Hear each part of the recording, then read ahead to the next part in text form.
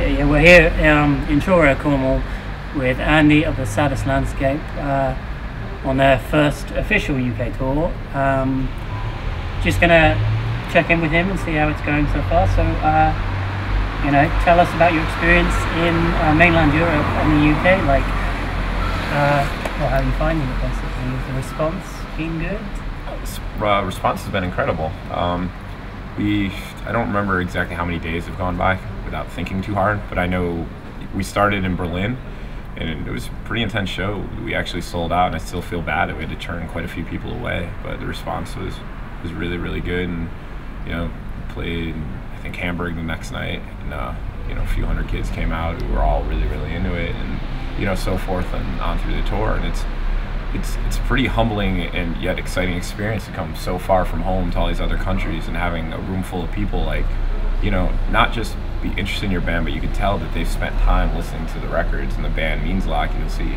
whole room full of people just singing along and knowing probably knowing the lyrics better than I do you know it's, I saw uh, some of the videos of Germany on YouTube uh, already uploaded and it looked really intense and um, you know the the European kids go all out for the shows. How have you found the UK in comparison to um, places like Germany, where the kids, in my mind, and, and Vince, are really excited about everything. You know, they're easy.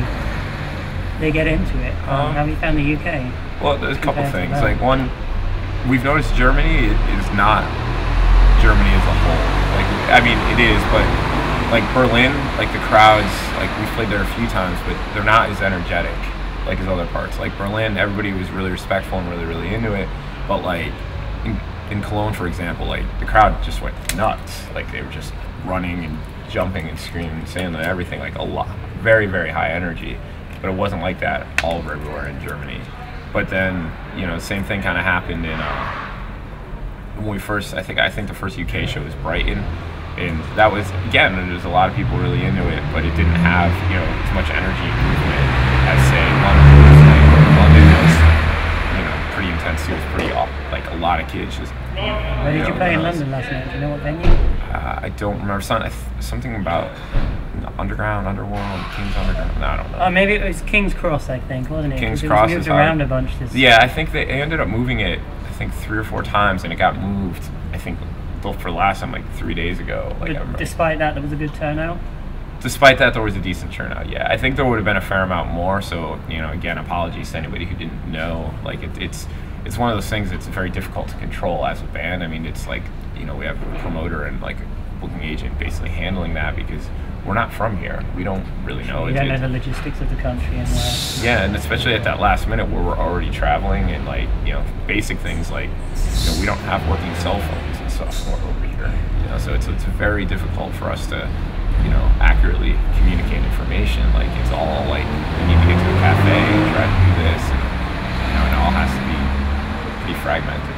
So You've, you've pressed uh, the new record, which isn't out for over a month yeah. now. Um, you've been selling it on this tour. Um, how's have, have you been selling a lot? Kids picking that up? Yes, and- it, it was one of those things. That, it, it's hard for us to judge, like you know, coming over exactly what the interest would be and how many records to press and bring, and couple that with the fact that it's not cheap to get LPs over here. I mean, we all know records weigh a lot, especially when you're bringing in bulk, and we had to ship them over. So when we thought about a number, the number we came up with turned out to not be nearly enough. We sold two thirds of them on the first day, and then we cut it off. We could have sold the entire thing in Berlin, I think. so, out of interest, as a, a record geek myself, how many did you press? There's 150 on the, the tour color, which is the, the clear s- blue split.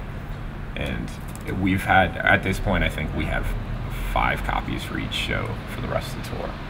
And kids line up and come early. Just, they'll stand at a merch table that no one's even at yet, hoping to get it. And it's just, and I would love to have enough for everybody. And it's like, you know, we have people who like, you know, I want to, you know, sincerely believe them that they're coming and trying to get for friends who can't make it to these shows. And like, we had to limit it to one a person, stuff, you know, and you Is know, that to get around any people that may sell it on eBay?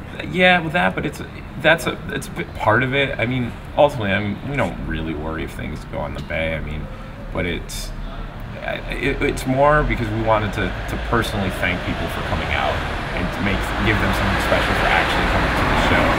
So if I can limit to one a person, and then people who actually are there will get it, as opposed to the first kid coming and buying a handful, and then other people came to the show and not get any. I feel like that's a, a fair way to